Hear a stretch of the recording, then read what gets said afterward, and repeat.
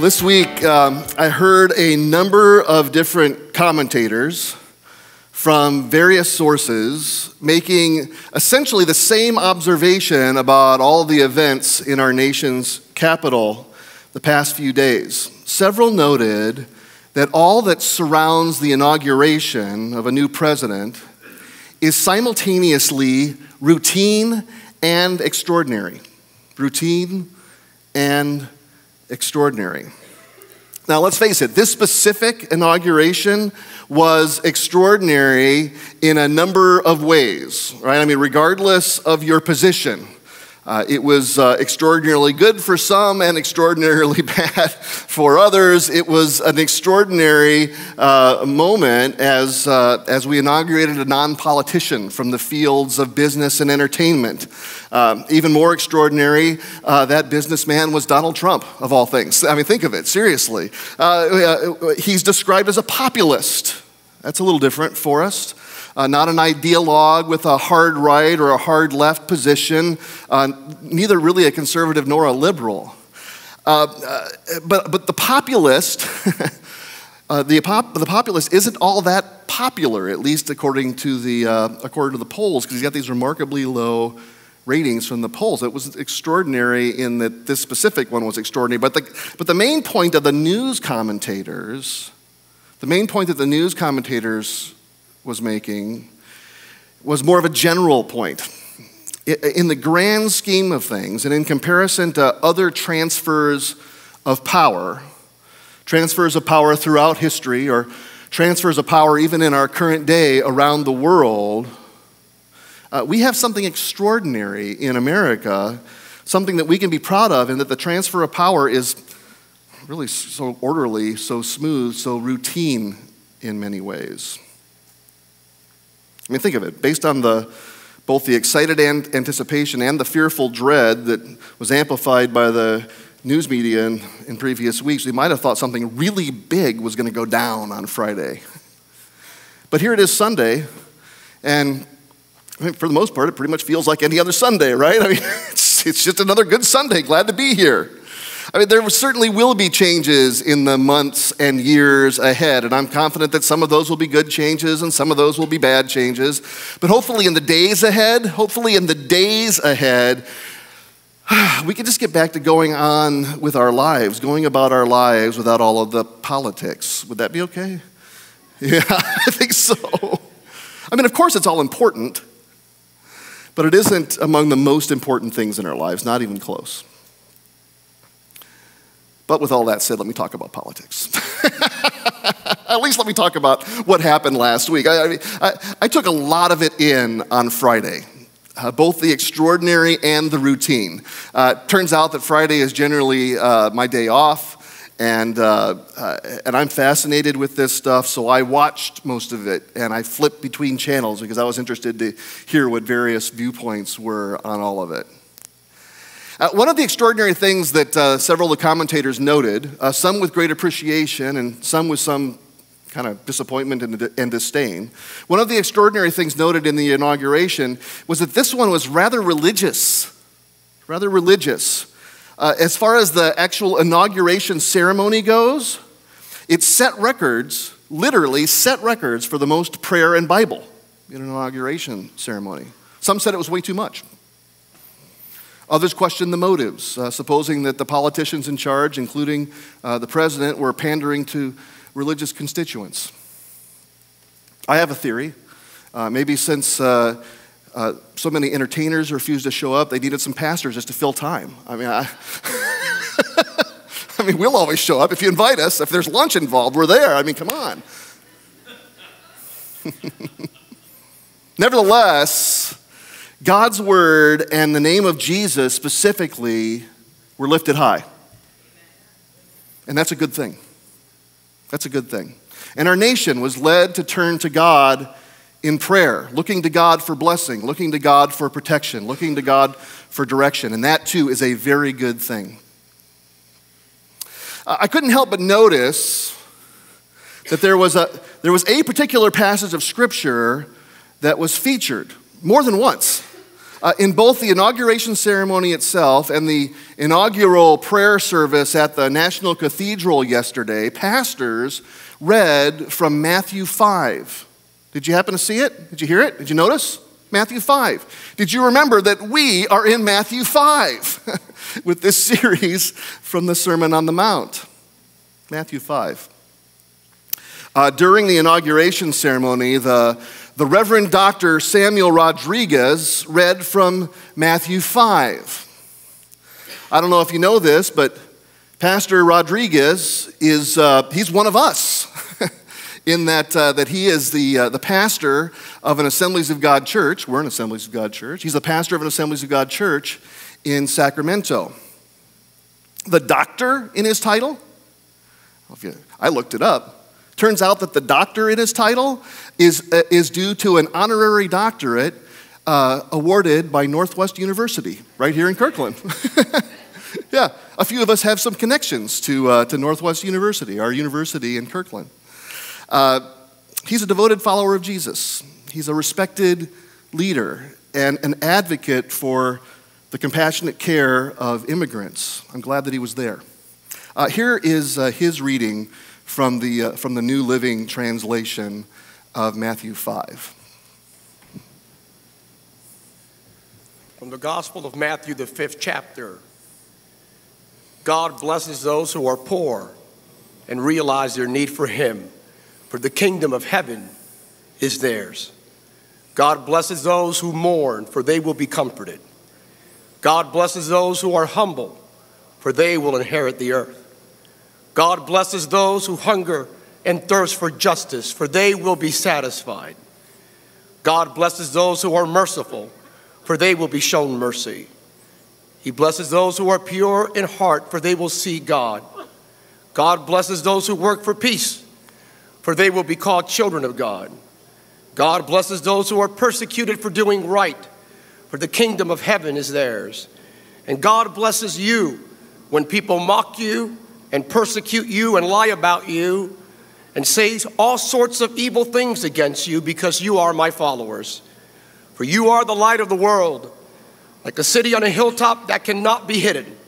No one lights a lamp and then puts it under a basket Instead, a lamp is placed on its stand where it gives light to everyone in the house. In the same way, let your good deeds shine out for all to see, that everyone will praise your heavenly Father. Respectfully, in Jesus' name. Yeah, pretty good, huh? Yeah, you can, you can applaud that. That was awesome. In Matthew 5 is a fitting reading for such an occasion, as it reminds us of our source of blessing. It reminds us as well of, uh, of our responsibilities as recipients of God's blessing. And it also, of course, clearly defines the nature of true blessing. You know, I suspect that some, if not most all who were watching, saw that reading as kind of routine. I mean, it, that sort of thing could just easily fade into the white noise of such an event. Just another expression of civic religion, if you will a, a sort of patina of spirituality without, uh, without deep meaning. But I can guarantee you, I can guarantee you that it wasn't a routine moment for Pastor Sam. For him, it was an extraordinary moment, and I agree. I agree. The Word of God, clearly proclaimed in the name of Jesus, is powerful. Quoting the words of Jesus from his Sermon on the Mount was the right choice at that moment. It was an extraordinary moment, primarily because this is an extraordinary passage. Matthew 5, beginning with the Beatitudes. Uh, last week, we looked at the first half of this section that most call the Beatitudes, and I titled the message, Be Blessed, since it focuses on God as the source of our blessing describing blessing in God's kingdom in ways that may seem sort of upside down to the way we might otherwise understand blessing, right? We usually see wealth and health and power and perceived blessing. But Jesus sees poverty, mourning, meekness, and hunger and calls that blessing. In all of it, Jesus calls us to his kingdom and to his blessing. And the second half of the Beatitudes, where we find ourselves today, shifts our focus slightly to our responsibility to be a blessing. To be a blessing. As citizens of God's kingdom and recipients of his blessing, we are called to spread God's blessing.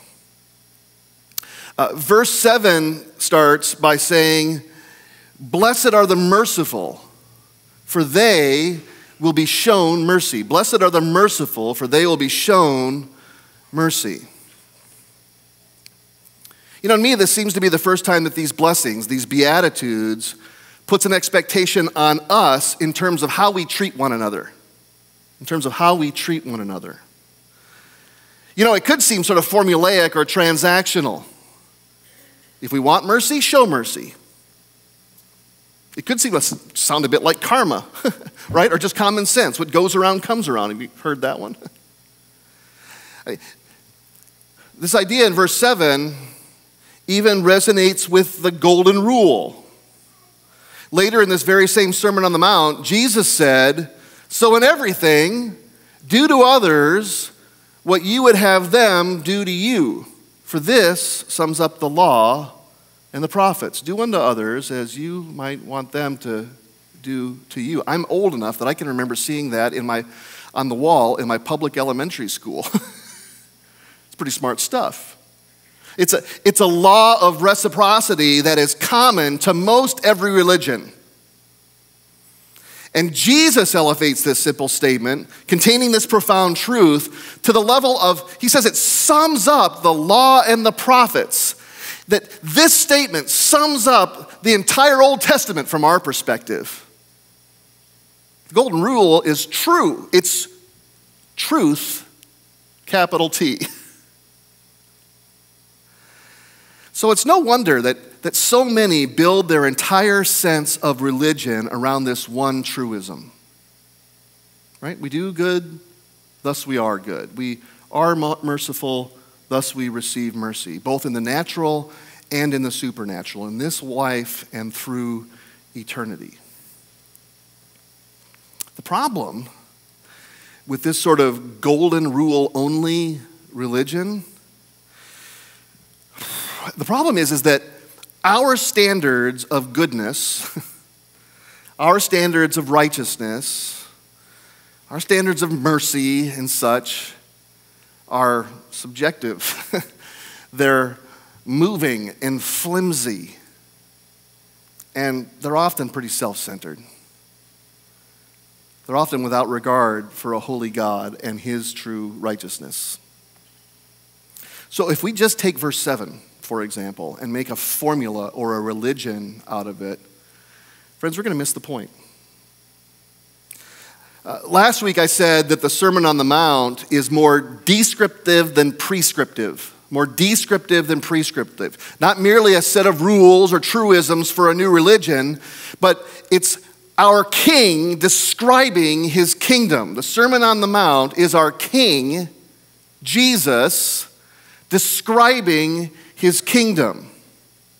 Uh, remember that the blessing started with, Blessed are the poor in spirit, for theirs is the kingdom of heaven. A misapplication of the golden rule, or even just verse 7 for that matter, could lead us to think that there is a way that we can make ourselves rich in spirit.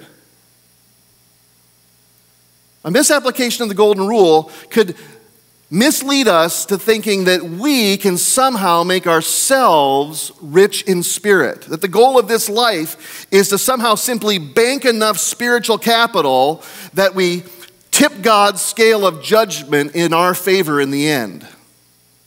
But again, the Sermon on the Mount, in this verse 7, isn't a prescription for citizenship in God's kingdom, it's a description.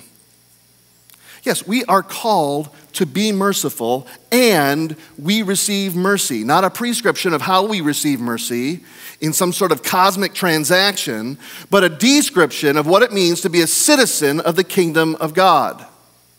The Sermon on the Mount is not an invitation to a transaction, but a call to participation. a call to participation with God. We are called to be merciful as we too receive mercy in the kingdom of God, both among ourselves and, most importantly, from God Himself. We are the recipients of mercy, period. right? This is the gospel. We are the recipients of God's mercy, period.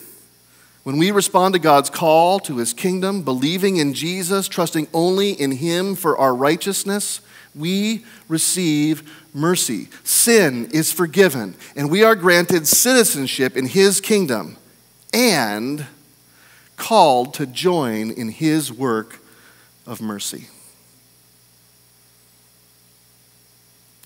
Verse 8 says, Blessed are the pure in heart, for they will see God. Now, this gets right to the heart of the gospel, doesn't it? God's blessing isn't a matter of the purity of our appearances or anything on the outside, nor is God's blessing a matter of our good work or even our good intentions. God's blessing is for the pure in heart. Well, how do we purify our hearts? We might ask. Well, we can't. we can't. The, the Bible is so clear. It teaches us that the human heart is not pure. Uh, the Bible teaches us, both in grand, clear theological statements, but also by demonstration through all of the depictions of how people act toward each other and how people act toward God, that the human heart is not pure. There was only one human with a pure heart. Only one, the one who was both fully human and fully God, Jesus. So, again, this is not a transaction, it's a description. When we believe in Jesus, our hearts are purified. I mean, think about it. The citizens of God's kingdom the citizens of God's kingdom all have heart transplants. They all have heart transplants. Cold, evil, dark hearts are replaced with purified hearts. And those pure hearted citizens of God's kingdom will see God.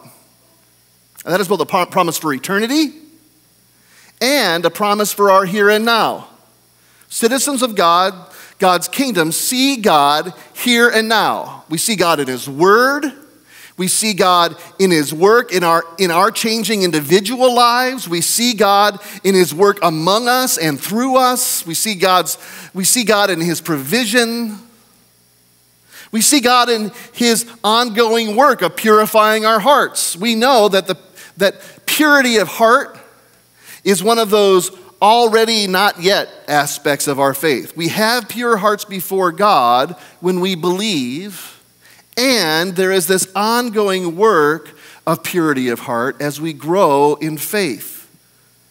And as we strive for holiness and purity, we see God all the more clearly.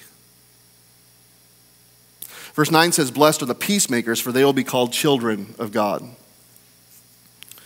When we believe, receiving citizenship in God's kingdom, we are not merely some sort of common or second class citizen.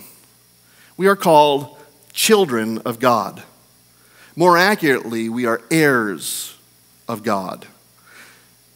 Uh, when we read the word children in a verse like this, uh, we would err if we understood that to mean something like kids. For they will be called the kids of God. No, I mean, let's think of it. Like, for example, the babies in our nursery might be citizens of our country, for example, but their rights are severely limited. Those babies. I mean, their rights are severely limited, and so are the expectations we place on them. I mean, they can't work, they don't get a vote.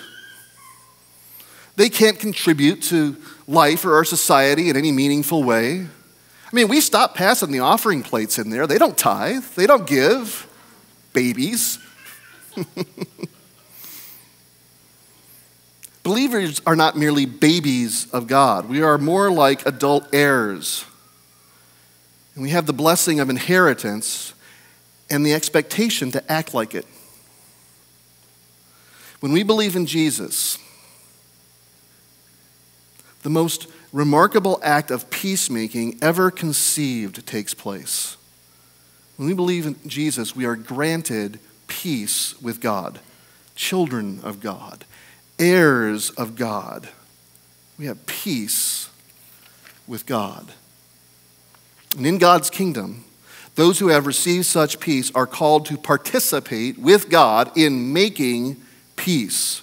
God's kingdom is populated with peacemakers, not merely recipients of peace, those would be peace takers, not merely those well studied in peace, not merely peace thinkers, but peace makers, peacemakers. That is a high calling. I mean, think about that in its context for a moment. Think through the implications of such a thing, being called to be a peacemaker. What did it take? What did it take for peace to be made between us, believers, and a holy God? What did it take? It required sacrifice, ultimate sacrifice. So we who are called to be peacemakers should expect it to require sacrifice. We should expect to do hard things. Which leads us to verse 10. Blessed are those who are persecuted because of righteousness, for theirs is the kingdom of heaven. For theirs is the kingdom of heaven. The, the promise that completes these blessings is the same promise from the beginning. It's repeated here at the end. Theirs is the kingdom of heaven. This is all what it's like to be citizens in God's kingdom. Those who are persecuted because of righteousness are not persecuted because of secret righteousness, right? Or mere intended righteousness. Persecution awaits those who live and act to be a blessing, to live and act as citizens of God's kingdom. Verses 11 and 12 further clarify that point. It says, Blessed are you when people insult you, persecute you, and falsely say all kinds of evil against you because of me, Jesus said. Rejoice and be glad, because great is your reward in heaven, for in the same way they persecuted the prophets who were before you. When we prize our citizenship in God's kingdom above everything else, the enemies will take notice. Now remember, Jesus also said, Blessed are the peacemakers. So, this idea of blessed are the persecuted is no license to pick a fight, to seek persecution, or even mislabel persecution. This blessed are the persecuted business is not a license to be a jerk. Try not to look at anybody specifically when I said that. right? This, this blessed the peacemakers business is not a license to be a jerk. But if we think we are citizens of God's kingdom and find it painless and without opposition, we're probably not doing it right. Maybe we should consider if we are truly living and acting as such citizens. If we have a blessed life in all the ways that our culture generally understands blessing, then we may be missing the point. And this again ties back to something that I said last week. Jesus is teaching us that we routinely see blessings in ways that are upside down to how Jesus describes blessings here in the Sermon on the Mount right? We see wealth and health and power and perceived blessing. Do we see any wealth and health and power on display uh, on Friday? I mean, seriously. We see wealth and health and power and perceive blessing, but Jesus sees poverty. Jesus sees mourning. Jesus sees meekness and hunger and calls that blessing. Couldn't we add to this list of wealth and health and power another highly valid commodity? being liked, being like don't we often equate blessing with being liked? Do you know who has this figured out? The business geniuses who run Facebook and Instagram and Twitter and the like. The great businesses, uh, business minds behind these social media outlets uh, uh, have those little like buttons, right? And those little like buttons on Facebook and Twitter and Instagram might as well be blessing buttons. Don't we feel blessed when we get liked? Do we feel like we're blessing somebody when we're, well, uh, bless you? Click. bless you. Bing. it's kind of like that, isn't it?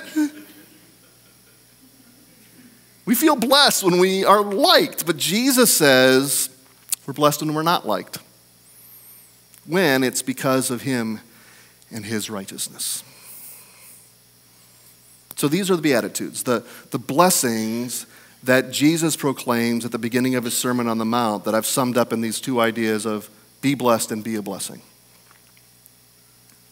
Before we wrap it up today, I want to say just a few more things about this idea of persecution persecution. You know, it seems to me that there is a lot of fear of being persecuted these days. Mean, yesterday was a, was a big day of protest with people genuinely feeling fear of persecution, so they marched to have their voices heard. There were similar uh, protests on, on Friday's inauguration day, some of them going terribly wrong, even here in our city in Seattle some resulting in violence. You know, had the election gone the other way, who really knows what kinds of reactions there would have been?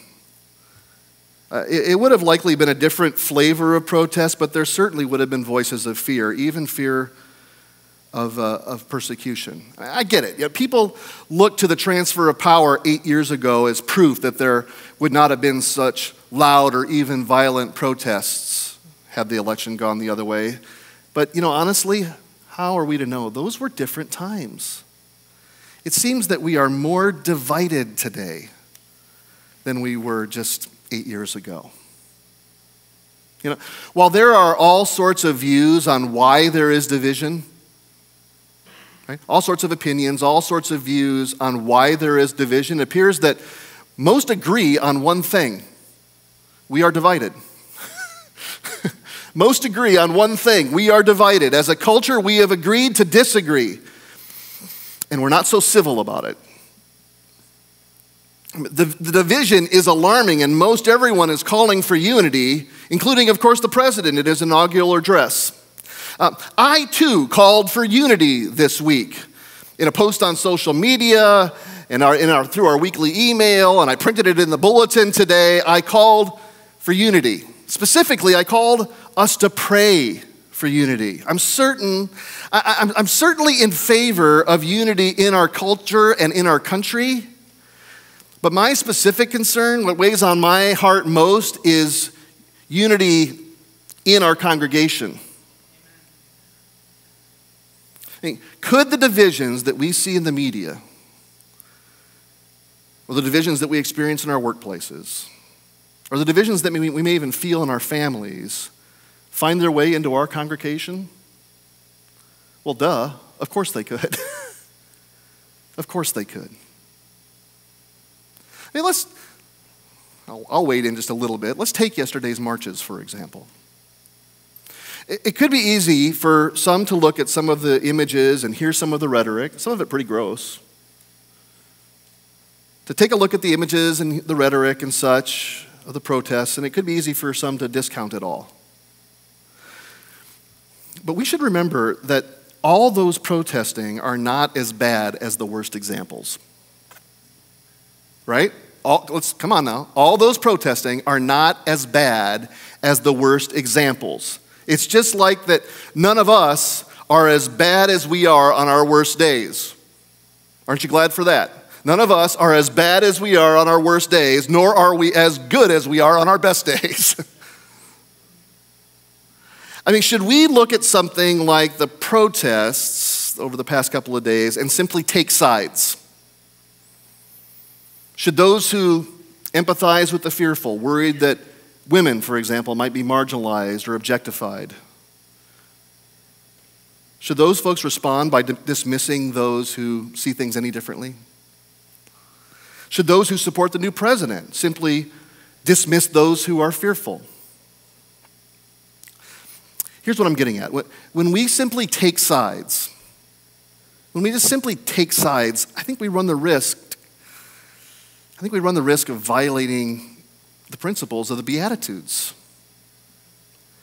I think we run the risk of violating the Beatitudes so much so that we could even become the very persecutors that Jesus identified. In demonstrations like yesterday's, there are those on the fringe for sure. Those are the ones that get on TV, right? I mean, that's the entertaining stuff. But most of those protesting are doing so, hear me, in their pursuit of righteousness. They are sure that they're doing the right thing. I can't discount those who are motivated to speak against misogyny and the object, objectification or marginalization of women. I mean, they have a right to speak out. And let's face it, our new president gave them some ammunition. These days, it seems so easy for us to take an opposing view or a different perspective and turn it into something polarizing in which we label the opposition as evil and or we label ourselves as persecuted. Maybe I can illustrate it a bit with something far less emotionally charged. so, for example, tomorrow is our annual fire inspection here in this building. So we worked uh, last week to make it so that we pass without anything being written up. That's my goal. Just a, com- a complete, I mean, just make it easy on Wendy, the fire inspector, nothing to write up. So if you could, um, as you leave today, please be sure to take your matches and lighters and lit cigarettes because uh, that's, that's, that's not. We want, we want to have a clean inspection. Last year, we were written up, that took a couple of pages. We were written up, written up on several minor points, all of the sorts of things that we easily address. Some were misunderstandings, some were things we needed to fix, some were things that we needed to negotiate on. Last year, we had a couple of pages worth. When the inspector gave us her report last year, it would have been foolish for me to take an opposing side. Right? It would have been ridiculous for me to interpret her report as persecution. Oh, the government messing in our business with this fire inspection report, persecuting the church and me, this little pastor. I mean, that would have been ridiculous. Her report was merely out of her pursuit of righteousness in her role right? Righteousness, in her case, translates into fire safety. And on that matter, we are all on the same side. I'm in favor of what she's in favor of. I want you all to go to heaven. I'm not in favor of you going there directly from here because of some stupid thing that we did and we all burn up together. right? Rather than mistaking her report as a threat or persecution, we work together on shared goals. I think we sometimes make different pursuits of righteousness, even misguided or flat out wrong pursuits of righteousness. There are lots of those too.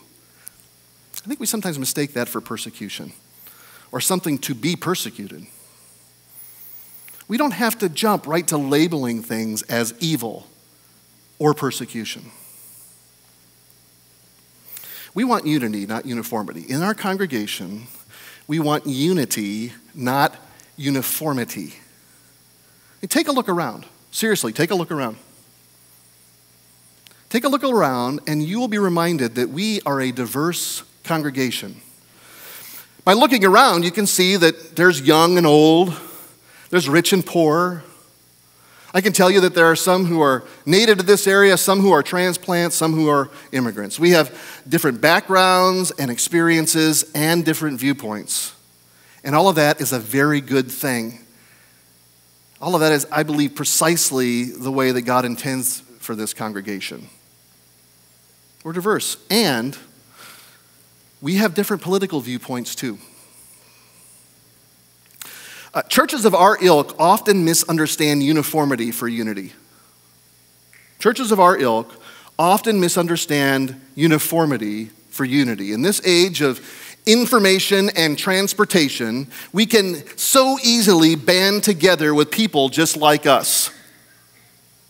Right? We can simply do an internet search looking for people like us, and then we get in our cars and we easily drive to congregate together. It's easy for people just to kind of clump together with people just like us, whatever us is.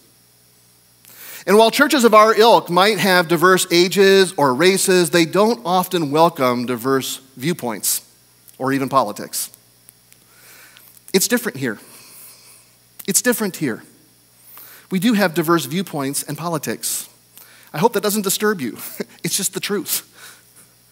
We need each other. Unity is not uniformity. I've been talking to people about this a little bit this past week, and some have noticed that I don't make a big deal out of my personal viewpoints from this platform when it comes to things like politics. Uh, apparently, some were concerned even last week when I put up a few images on the screen of Presidents Obama and Trump, but I didn't make a clear stand for either one of them. Now, listen, my politics are not a secret.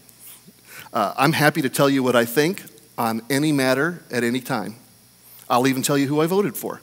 I might ask you to go first, but I'll tell you who I voted for. but I'm not going to do it from here. And here's why.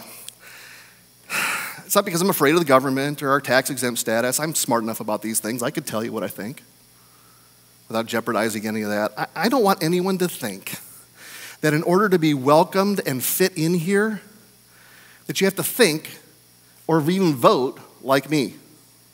We are not united merely under a political party or patriotism. We're not united under some mere humanitarian cause. We're not united under any style or human personality. We're, not, we're certainly not united under my personality. we are united under Jesus. We are united, yeah. yeah. We're united under Jesus. Our unity is in Christ. We look up to Him in worship. We find our strength and hope in Him, and we join Him in His outward focused mission. So let's continue to strive for unity, acknowledging that we don't have uniformity here. In fact, we don't even care to have uniformity here. I don't believe that's what God wants for us. But that is hard. That will require some care and patience especially these days in our sort of divided and emotionally charged culture. So, on some of the hot topics today, when it comes to women's issues, okay, let's face it, folks, half of us about are women here. Definitely the best half. I mean, seriously. So, when it comes to women's issues, we're in favor of equality.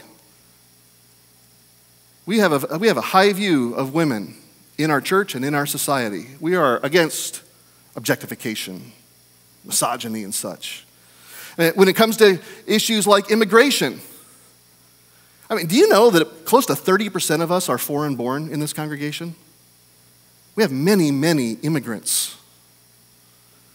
I mean, my, I married someone who was foreign born. I mean, way up there in Edmonton. It's like, I mean, that's like the Arctic Circle. I'm not even sure it's incorporated up there, if it is any kind of a country.